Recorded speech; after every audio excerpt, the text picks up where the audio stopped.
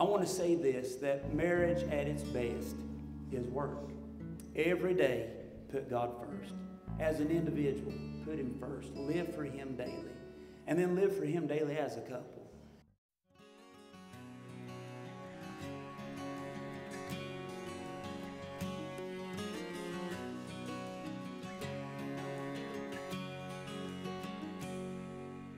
Father.